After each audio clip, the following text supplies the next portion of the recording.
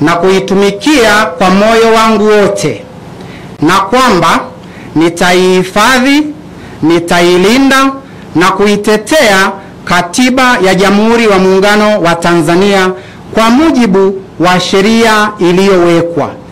Ewe Mwenyezi Mungu nisaidie. Mimi Shukrani Elisha Manya naapa kwamba nitaitumikia vema na kwa moyo thabiti Jamhuri ya Muungano wa Tanzania katika kazi zangu za naibu waziri wa madini, na kwa wakati wote nitamshauri kwa hekima na uaminifu Rais wa Jamhuri ya Muungano wa Tanzania, na kwa vyovyote vile sitatoa siri za baraza la mawaziri. Ewe Mwenyezi Mungu nisaidie.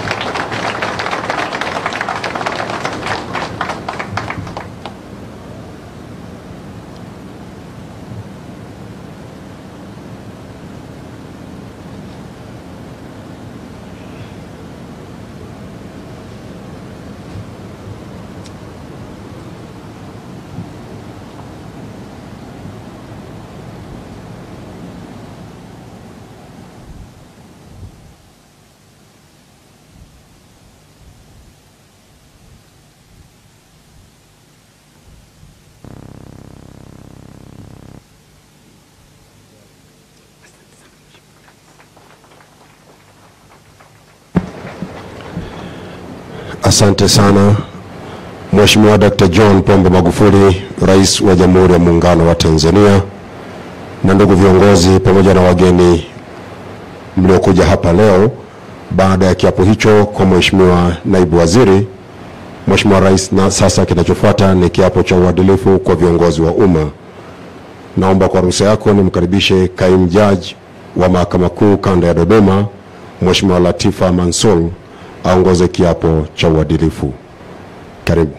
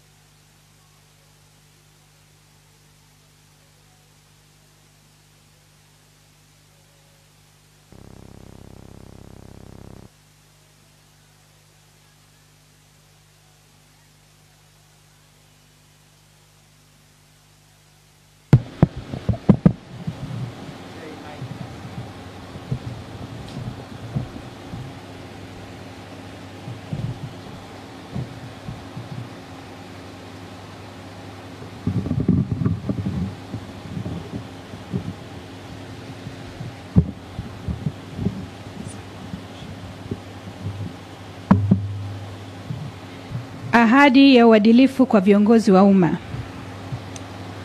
Kwa kuzingatia misingi ya maadili iliyoainishwa katika ibara ya 132 ya Katiba ya Jamhuri wa Muungano wa Tanzania ya mwaka 77 na masharti ya sheria ya maadili ya viongozi wa umma ya mwaka 1995 ambayo yanamtaka kila kiongozi wa umma kuzingatia viwango vya juu vya maadili ili kukuza utu, uwazi, uadilifu, uwajibikaji na kuimarisha imani ya wananchi kuhusu utendaji wa viongozi wa umma.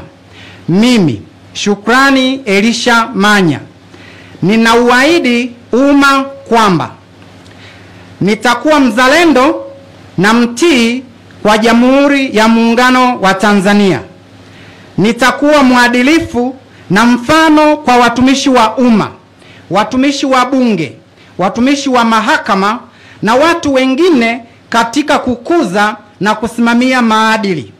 Sitatumia cheo changu kwa maslahi binafsi au ya familia yangu, ndugu zangu au marafiki zangu au mtu mwingine.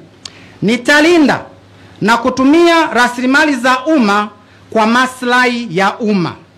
Nitatekeleza majukumu yangu na kuyafanya maamuzi kwa kuzingatia katiba, sheria, kanuni, taratibu, miongozo, mila na desturi za Jamhuri ya Muungano wa Tanzania. Sitatenda kitendo chochote cha rushwa.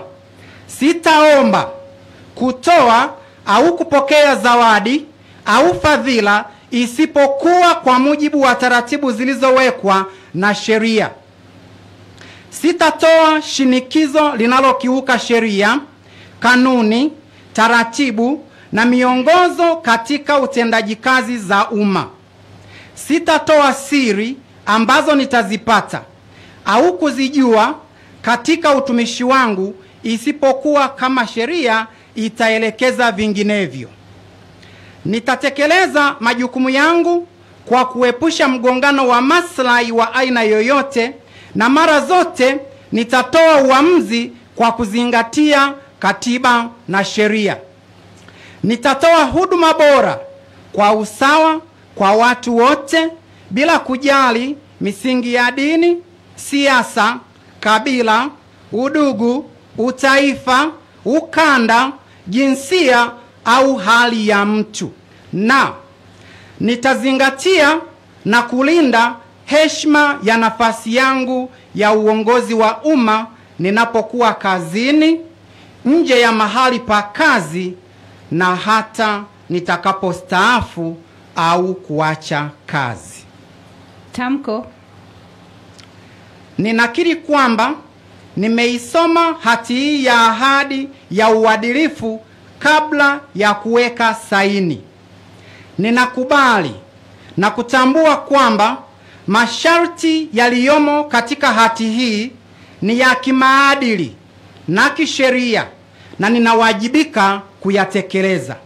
Ninaelewa kwamba kuvunja masharti hayo ni kiukwaji wa maadili yaliyowekwa kwa mujibu wa sheria ya maadili ya viongozi wa umma na sheria za nchi, na hatua za kisheria zinaweza kuchukuliwa dhidi yangu iwapo nitakiuka masharti hayo. Asante sana. Naomba sasa Mheshimiwa Naibu Waziri uketi na utie saini hati ya kiapo chako.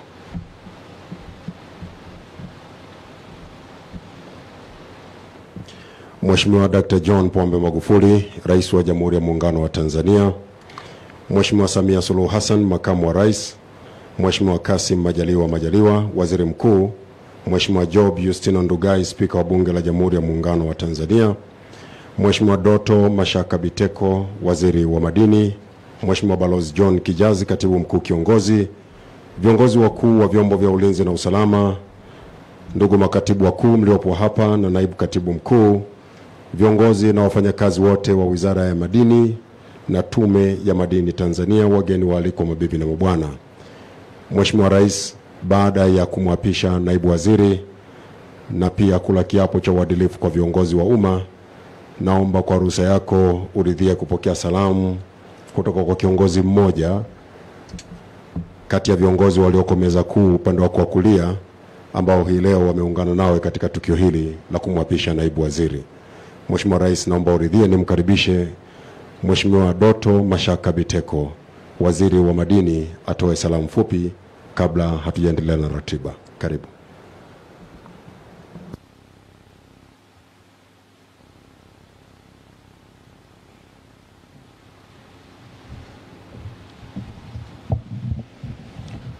Mheshimiwa Dr. John Pombe Joseph Magufuli, Rais wa Jamhuri ya Muungano wa Tanzania, Mheshimiwa Mama Samia Suluhu Hassan, Makamu wa Rais wa Jamhuri ya Muungano wa Tanzania, Mheshimiwa Kassim Majaliwa Majaliwa, Waziri Mkuu wa Jamhuri ya Muungano wa Tanzania, Mheshimiwa Job Ndugai, Spika wa Bunge la Jamhuri ya Muungano wa Tanzania, Mheshimiwa Katibu Mkuu Kiongozi, Waheshimiwa sana viongozi wa vyombo vya ulinzi na usalama, ndugu zetu wote mliohudhuria hafla hii.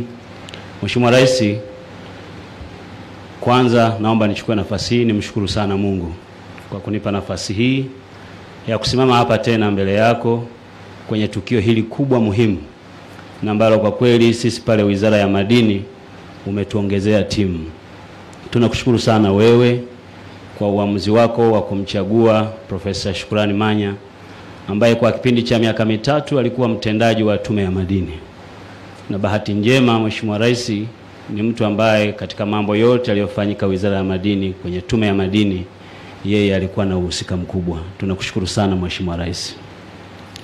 Lakini naomba nichukue nafasi nimpongeze sana Mheshimiwa Manya kwa kuchaguliwa, kwa kuteuliwa na Mheshimiwa Rais kwanza kuwa mbunge na baadaye kuwa naibu waziri wa madini. Mimi pamoja na wenzangu wizarani tuna imani naye na tunaamini kwamba tutashirikiana. Jambo moja tu ambalo kwa sababu leo nimepata nafasi ya kuzungumza na mbele yako Mheshimiwa Rais, kumwambia tu naibu waziri wangu kwamba amepata bahati ya kuhudumu kama naibu waziri wa madini kwenye serikali ambayo wewe unaiongoza, na jambo ambalo lazima afahamu ni kwamba wewe Mheshimiwa Rais, kwenye sekta ya madini hakuna kitu hata kimoja hukijui, vyote unavijua.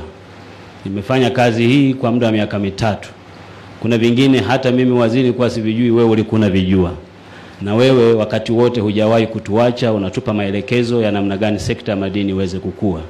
Mheshimiwa Rais, naomba nikuahidi mbele yako na mbele ya Watanzania kwamba tutaenda kufanya kazi ya kuikuza sekta ya madini ili yale matarajio ulionayo ya kuona madini yanawanufaisha Watanzania natokea. Ulituambia juzi wakati unatuteua hapa, unatuapisha hapa kwenye baraza la mawaziri, utoroshaji bado upo. Ni kweli Mheshimiwa Rais, hata huko Chunya ulikozungumza mwezi wa Oktoba, mwezi wa Septemba, mwezi wa Agosti makusanyo yalishuka sana kwa sababu ya vitendo hivyo. Nataka nikuhakikishie Mheshimiwa Rais, sisi Wizara ya Madini pamoja na vyombo vyako vya ulinzi na usalama tumeshaweka mkakati maalum wa kuhakikisha kwamba hali hiyo inaondoka. Na nataka nikuhakikishie kwamba itaondoka, na nitoe wito kwa wafanyabiashara wachimbaji wote nchini kwamba biashara ya kutorosha madini hiyo zilipendwa. Mheshimiwa Rais, nakushukuru sana kwa nafasi hii na kupongeza Mheshimiwa Manya. Asanteni kwa kunisikiliza. Asante sana Mheshimiwa Doto Biteko, Waziri wa Madini.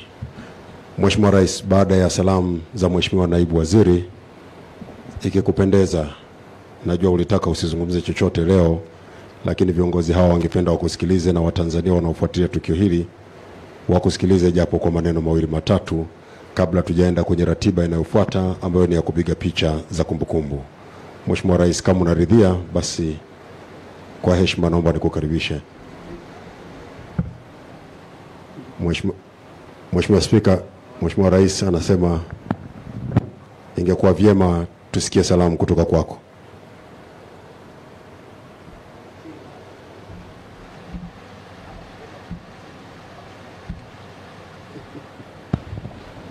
Unaambiwa useme lolote. Mheshimiwa Rais Dr. John Pombe Joseph Magufuli, Mheshimiwa Makamu wa Rais, Mheshimiwa Waziri Mkuu, Mheshimiwa Waziri wa Madini, Mheshimiwa mwenyeji wetu Katibu Mkuu Kiongozi, viongozi wa vyombo vya ulinzi na usalama, ndugu zangu wote tulioko hapa pamoja na ndugu yetu Profesa Manya, kwa kweli nisimame hapa kukupongeza sana kwa jambo hili la kuweza kuapa hapa mbele yetu. Mheshimiwa Rais, asubuhi ya leo Profesa Manya ameapa kuwa mbunge kule kule bungeni. Alipofika ilibidi ni mhoji kidogo, nikamuuliza unatoka mkoa wa Lindi? Akanihakikishia kabisa kwamba hatoki Lindi. Nikaona kweli hapa tutakuwa salama. Lakini leo hapa aliposhika kile kiapo mbele yako, watu wote hapa walikuwa kimya. Hata mheshimiwa jaji alipokuja hapa, kaona sasa kiapo cha mheshimiwa jaji cha cha, cha utii kile cha maadili ni kirefu zaidi, ndio tukakaa kimya zaidi. Lakini tunashukuru sana kwamba yote yamepita salama.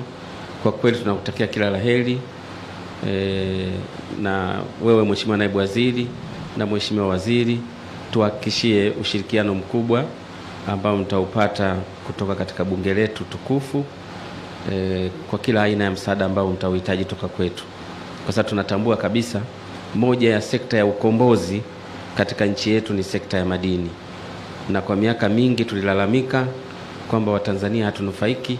Sasa tumeanza kuona manufaa ya sekta hii ya madini. Kwa hiyo naomba sana yale maagizo na maelekezo ambayo Mheshimiwa Rais amekuwa akielekeza muyashike, muyafanyie kazi, na pale ambapo mnahitaji kipengele fulani cha sheria kibadilike, tuko zaidi ya tayari kufanya hivyo. Mkihitaji sheria mpya ya jambo fulani au mkihitaji msaada wa jambo jingine lolote kutoka bungeni, kwa kweli tuko tayari kushirikiana nanyi. Baada ya maneno hayo, nikutakie Mwenyezi Mungu akutangulie katika kazi zako Profesa Manya, na naamini kwa pamoja tutafika. Mheshimiwa Rais, nashukuru sana.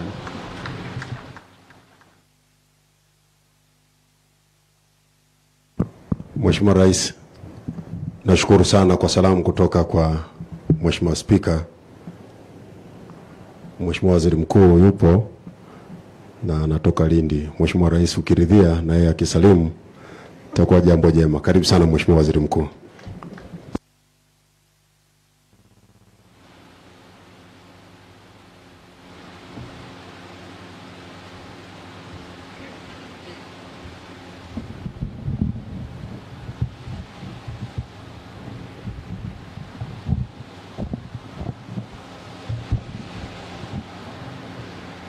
Mheshimiwa Dr. John Pombe Magufuli, Rais wetu wa Jamhuri ya Muungano wa Tanzania, Mheshimiwa Samia Suluhu Hassan, Makamu wa Rais, Mheshimiwa Job Ndugai, Spika wa Bunge letu, Mheshimiwa Doto Biteko, Waziri wa Madini, Katibu Mkuu Kiongozi Injinia Kijazi, wakuu wa vyombo vya ulinzi na usalama, viongozi wote wa serikali, wageni wetu ambao mmekuja kuungana nasi, bila kumsahau Mheshimiwa Naibu Waziri Profesa Manya. Mheshimiwa Rais, kwa kweli leo hatuna maneno mengi. Nitumie nafasi hii kukushukuru kuendelea kuboresha baraza letu la mawaziri na kwa kumteua Profesa Manya, na mimi niungane na walionitangulia kumpongeza sana Profesa Manya. Profesa Manya tunamfahamu, kati ya mambo makubwa yaliyofanyika kwenye madini, yeye akiwa mtendaji wa tume amekuwa na mchango mkubwa sana. Uteuzi wako ni uteuzi sahihi, na sisi tumeupokea na tunaopokea tukiwa na imani kwamba Profesa Manya sasa anakwenda kufanya ufuatiliaji wa karibu, lakini pia atatumia nafasi yake kufanya marekebisho kupitia chombo cha Bunge, yeye pia akiwa mbunge, na atashiriki kikamilifu kueleza umma wa Tanzania namna ambavyo serikali hii inaweka jitihada za kuhakikisha kwamba rasilimali hii ya madini inawanufaisha Watanzania. Kwenikiri kwamba uteuzi huu ni uteuzi sahihi. Sitaki sana kuzungumzia alilosema Mheshimiwa Spika. Naamini na mimi najua eneo hili Mheshimiwa Rais sio eneo la mzaha mzaha sana. Hata mimi sipokuwa na hapa siku ile tulipokuja hapa kitamkwa pale kuvuka mpaka hapa itakuwa utumie nguvu kidogo. Kwa Mheshimiwa Rais, yaliyotokea juzi si tu ya Lindi, bali tuendelee kumwombea kijana wetu. Naamini bado unaweza ukaangalia angalia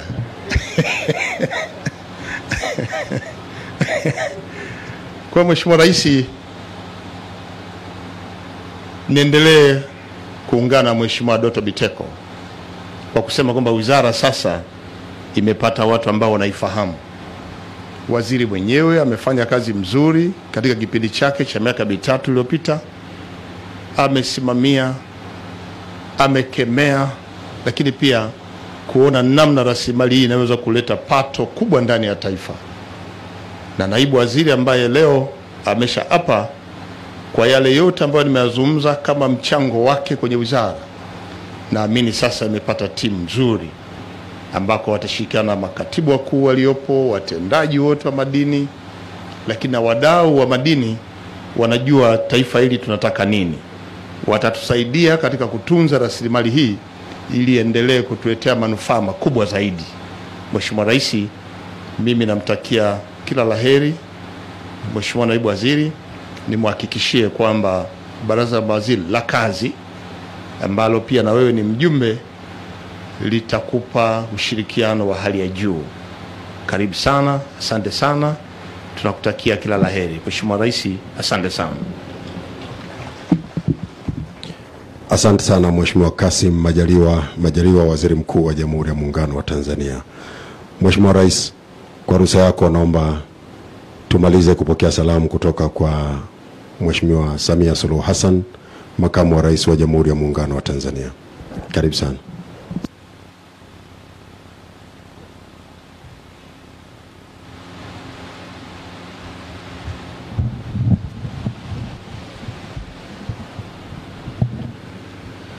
Mheshimiwa Rais wa Jamhuri ya Muungano wa Tanzania, waheshimiwa viongozi mbalimbali, wakuu wa vyombo vya ulinzi na usalama, Mheshimiwa Naibu Waziri uliye hapa, assalamu alaikum.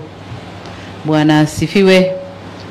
Mheshimiwa Rais, kwa sababu leo aliapa mtu mmoja, tulijua ingetosha akisema waziri muhusika, lakini kwa sababu tumetakiwa tuseme basi naomba uniruhusu nimkabidhi jukumu Mheshimiwa Naibu Waziri wa Madini hapa hapa.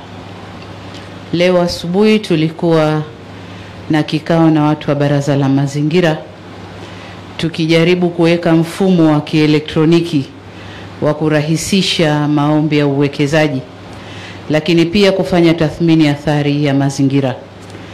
Tukabaini kwamba kwenye sekta ya madini pamoja na sekta nyingine hakuna miongozo ambayo itatuwezesha kuweka guidelines kwenye mfumo, na mtu anapoomba akifanya registration, maofisa wetu watumie miongozi ga, miongozo gani ya sekta yenu ili maombi yaende haraka. Inabidi turudi kwenu kukaa kitako na kupata hiyo miongozo. Kwa hiyo ningeomba hilo kalitizame. Lakini la pili, tulikuwa tunaangalia uharibifu wa mazingira kwenye wachimbaji wadogo wadogo, na tukaona kwamba kwenye kanuni au sheria za madini kuna tozo inayotozwa kwa ajili ya mazingira, na hiyo inakuwa ndiyo chanzo cha mapato ndani ya sekta ya madini, lakini wanaoangalia mazingira wanakuwa watupu na wanashindwa kwenda kurekebisha hiyo hali. Kwa hiyo kuna mapungufu kati ya mazingira na uchimbaji wa madini ningeomba ushirikiane kwa vizuri zaidi hasa na naibu waziri wa ofisi ya makamu wa rais na baraza la mazingira ili muyaangalie haya vizuri. Na kupongeza sana, karibu kazini. Mheshimiwa Rais, asante sana. Asante sana Mheshimiwa Samia Suluhu Hassan, Makamu wa Rais wa Jamhuri ya Muungano wa Tanzania. Mheshimiwa Rais, baada ya salamu kutoka kwa viongozi hao, kwa heshima na taadhima, ni kuombe ikikupendeza, basi uzungumze nawe mawili matatu na viongozi waliopo hapa, lakini na Watanzania wanaofuatilia tukio hili ambalo linarushwa moja kwa moja na vyombo vyetu vya habari vya Tanzania. Mheshimiwa Rais, karibu sana.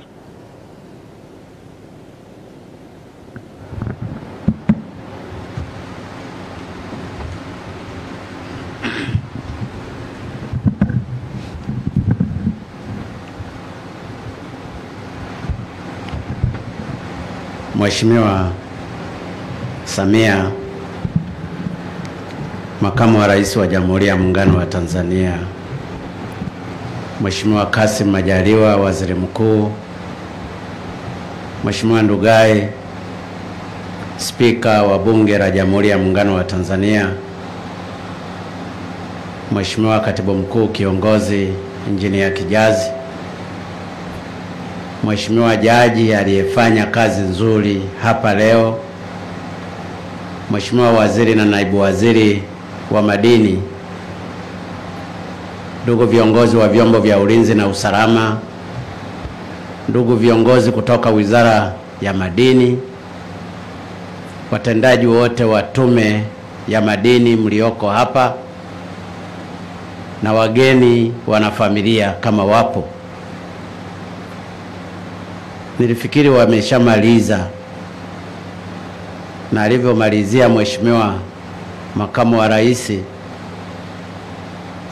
na ujumbe aliyotupa Mheshimiwa Waziri Mkuu na ule ujumbe mzuri aliyoutoa Mheshimiwa Spika pamoja na waziri, nilitegemea mimi nisizungumze leo, lakini nachomekea machache tu. Na mimi nakupongeza kwamba umepata hii nafasi ya kuwa naibu waziri wa madini. Siku tulipokuwa tukiwaapisha mawaziri na manaibu waziri hapa, Mheshimiwa Makamu wa Rais aliwadokeza kwamba reserve tunao wengi, reserve tunao wengi, na ukiwa na timu nzuri ambayo unataka ifanye kazi vizuri, lazima uwe na reserve. Kwa hiyo nataka kuwahakikishia kwamba reserve hukuwa wewe tu, bado tuna reserve nyingine. Kwa hiyo wachezaji mliochaguliwa pamoja na wewe lazima mkachape kazi. Maagizo mengine umeshapewa hapa na mengine mtayajua huko ambako yako kwenye ilani ya Chama cha Mapinduzi. Tumekuchagua wewe kwenda kuwa naibu waziri kwa sababu wizara hii tuliona kwenye nafasi za juu inayumba professions, kwa sababu waziri hajui madini, yeye profesheni yake ni mwalimu. Katibu mkuu ni profesa, lakini nafikiri amechukua mambo ya kompyuta hivi au statistics, kitu kama hicho. Kwa hiyo hayana uhusiano na kopa na redi na titanium na vanadium, hayaendani. Tumeona tukuweke wewe ukawe rinki nzuri kwenye wizara hii. Wewe ni profesa, lakini haina maana kwamba maprofesa waliowahi kukaa wizara ya madini walifanya vizuri. Kwa hiyo uende na observation hii, kwa sababu tumewahi kuwa na waziri profesa, tumewahi kuwa na katibu mkuu profesa, tena wa madini, mambo hayakwenda vizuri. Na hili nataka ni kukoshe ni wewe utakapoenda kule usiji ukaangukia kwenye mtego huo ambao maprofesa wenzako waliufanya walipokuwa wizara ya madini. Sitaki kukuficha, ni lazima nikueleze ukweli. Najua umefurahi, umeshangilia na watu wako wa Tume ya Madini wameshangilia, na ninajua walikuwa wanakwamishwa baadhi ya mambo kuyaamua. Sasa kayaamue wewe. Lakini la pili, sekta ya madini ni sekta muhimu sana. Mkijipanga vizuri, mkawahusisha wataalamu vizuri, mkaenda na mshirikiano mzuri ambao tumeanza kuziona saini nzuri za mapato katika Wizara ya Madini, kwa sababu wakati wanaingia wakina Biteko makusanyo yalikuwa bilioni 168. Leo makusanyo mwaka huu ni bilioni 527. Sasa mkiamua, sekta ya madini inaweza ikatoa mchango mkubwa sana kwenye taifa hili. Ni lazima wataalamu mjiulize, Tanzania tuna madini ya kila aina tuna chuma, milima ya tani ya mamilioni ya chuma. Kwa nini hii chuma haiendi kuyeyushwa ikatengeneza nondo? Badala yake nondo zinatengenezwa kwa mataaluma yanayoibiwa ya reli. Haya ndiyo maswali magumu mnayotakiwa kuyafanya. Yale mliyoyasoma kwenye theory, wakati mkisoma myaweke kwenye practice. Je, pameshindikana kitu gani? Hawa wenye viwanda vya kutengeneza nondo na chuma mkawaenda mkawakatia maeneo kwamba eneo hili la heka moja ni lako, anza kuyeyusha. Kama vyuma vinayeyusha vile vya kuibiwa, hata yale yaliyoko pale ardhini yatayeyushwa. Inawezekana yasiwe na percentage zinazotakiwa, yakawa na combination zingine kama titanium na nini, lakini wakafanye. Wewe una kiwanda chako hii hapa, hata kama ni kumpa bure, kwa sababu faida yake zitakuwa ni nyingi. Atatengeneza employment kwa watu watakaokuwa wanachimba kile chuma, lakini pili, transport sector ya kubeba hayo ni pesa, madereva wataajiriwa, lakini kwenye kiwanda atatengeneza ajira, serikali itakusanya revenue. Sasa mimi nawaomba kasimamieni pia hili.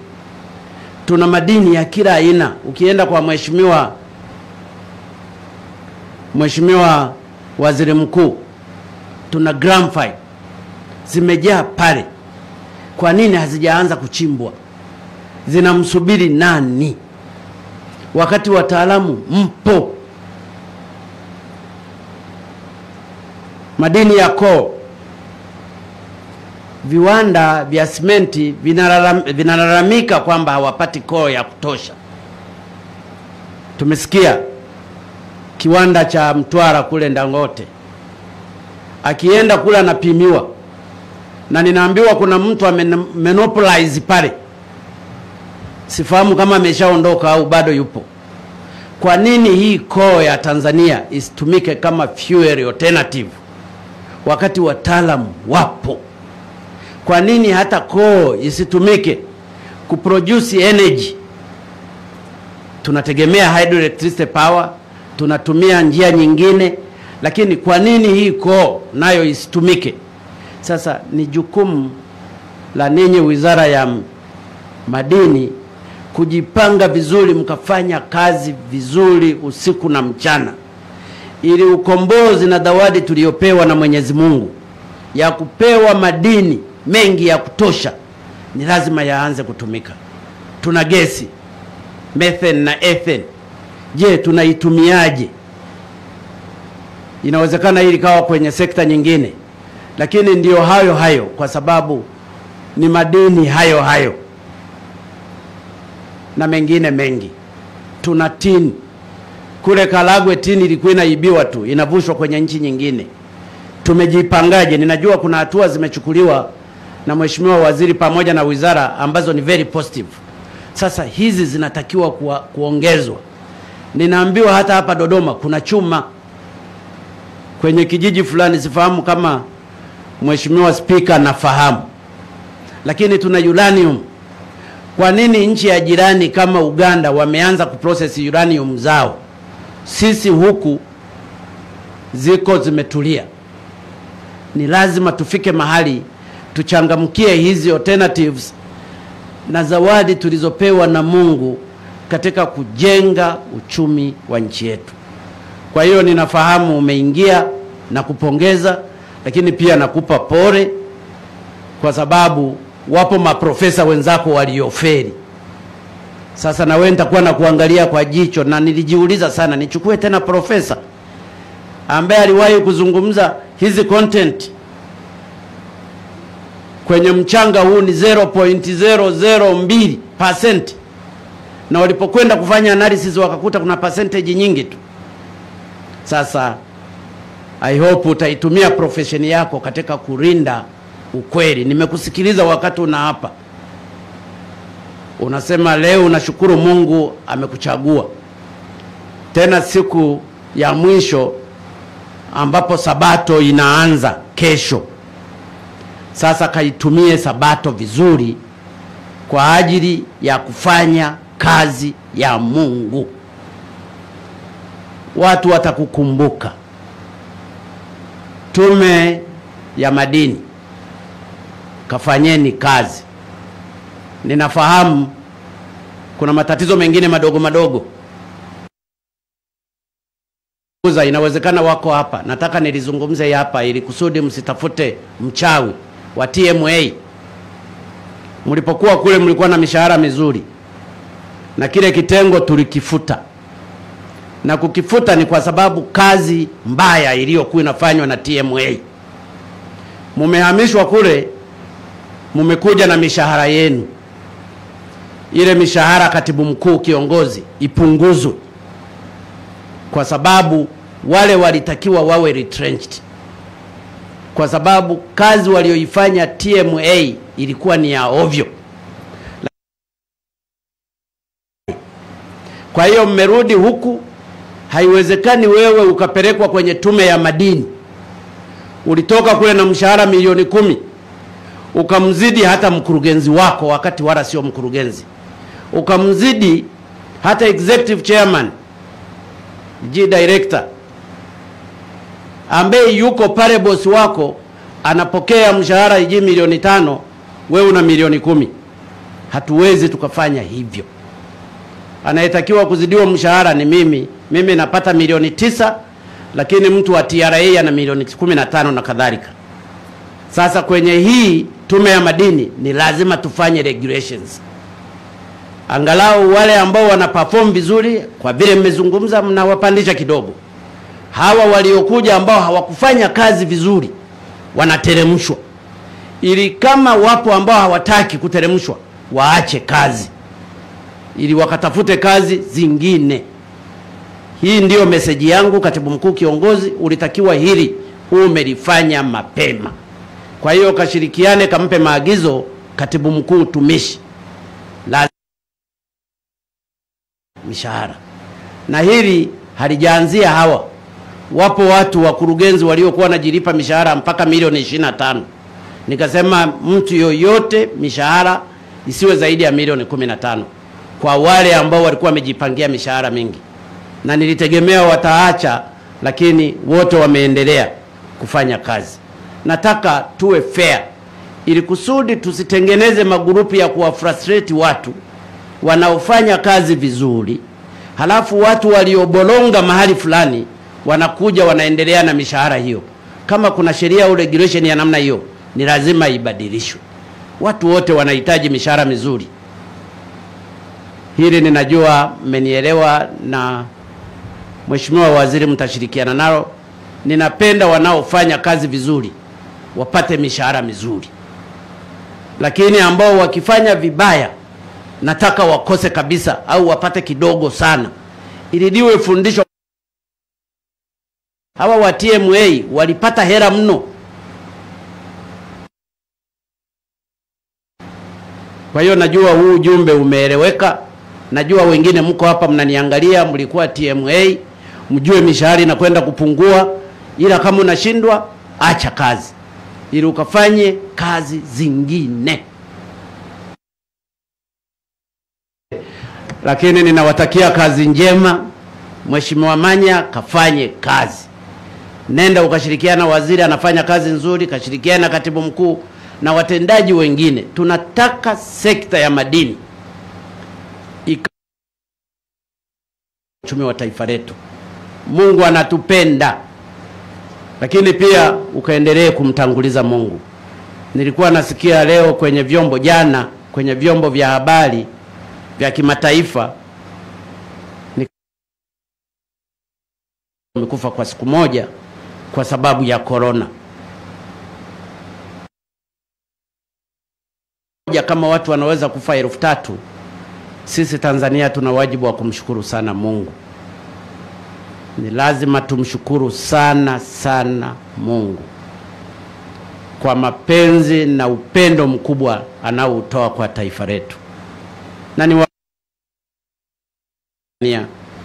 tuendelee kumshukuru Mwenyezi Mungu. Ametusaidia sana, anatupenda sana. Kama jina lako linavyosema shukuru, basi tukaendelee kumshukuru Mungu kwa kutuona, hata kwa kila mmoja tu, hata kimoyomoyo unasema tu Mungu asante kwa kutuokoa katika korona. Mi najua Mungu ataendelea kutusimamia jambo na kushukuru ni kitu kikubwa. Shukrani kwa Mwenyezi Mungu anayoyatufanyizia ni miugiza, na hili mimi nasema kwa dhati kwamba Mungu amefanya miugiza katika taifa letu ili kusudi mataifa mengine ambayo hayataki kumwamini Mungu anaweza akafanya maajabu. Ndugu zangu, Mheshimiwa Makamu wa Rais, Waziri Mkuu, Mheshimiwa Spika, Mheshimiwa Waziri, Katibu Mkuu Kiongozi, Mheshimiwa Jaji, na wewe ulio hapa leo, ninakutakia mafanikio mema siku zote. Kamtangulize Mungu katika kazi zako, mkashirikiane na wenzako, lakini mkashirikiane pia na wizara nyingine kama alivyozungumza Makamu wa Rais ili katika uchumi, katika madini na katika kila kitu. Nawashukuru sana. Mungu akubariki sana, na Mungu aibariki sekta ya madini, na Mungu aibariki Tanzania na wafanyakazi wake wote. Asanteni sana. Asante sana Mheshimiwa Dr. John Muungano wa Tanzania. Mheshimiwa Rais na ndugu viongozi, baada ya hotuba hiyo, kinachofuata sasa ni picha za kumbukumbu, na niwaombe ndugu viongozi, baada ya Mheshimiwa Rais kupita kuwasalimu, sote tuelekee katika sehemu iliyoandaliwa kwa ajili ya kupiga picha za kumbukumbu.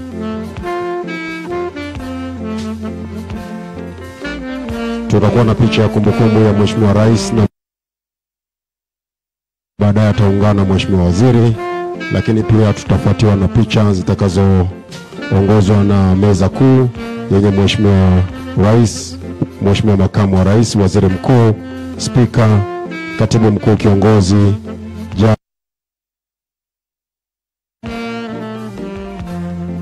wakiwa katika mstari wa mbele na itafuatiwa na picha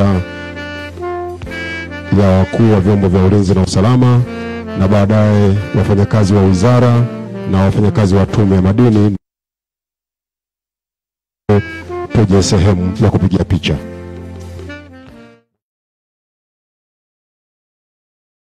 Katika kipima joto wiki hii, matukio ya ukatili wa kijinsia kuendelea kuibuliwa kila kukicha. Je, kampeni za kila mwaka zinalenga kiini cha tatizo? zinasaidia kwa upande mwingine, lakini wale watendaji wa matukio ya kikatili wamekuwa wakibuni njia mpya ambazo watu kuzigundua zile kampeni, kugundua kwamba kuna matukio ya kikatili inakuwa ni kazi. ni kampeni nzuri ambazo zinalenga kutatua tatizo, lakini si kweli kwamba wanalenga moja kwa moja katika kuhakikisha wanatatua tatizo hili, kutokana na kwamba wao wengi wanaofanya kampeni hizi ni watu ambao wanafanya kampeni katika maeneo ya mijini. kampeni tu zinakuwa kama maadhimisho ama zinafika kilele, unakuta watu wamejikusanya, wanafanya wanasherekea ile kilele, wanatoa kauli mbiu, lakini huku kwa wananchi, kwa jamii ambayo inatuzunguka, elimu hii inafika. Usikose kipindi hiki ambacho kujia moja kwa moja kutoka studio zetu za ITV, na wewe mtazamaji wetu unakaribishwa kushiriki kwa njia ya simu ukiuliza maswali au kutoa hoja. Ni Ijumaa saa tatu usiku kupitia vituo vyako vya ITV, Radio 1 na Capital Radio. Usikose. Kipima joto kina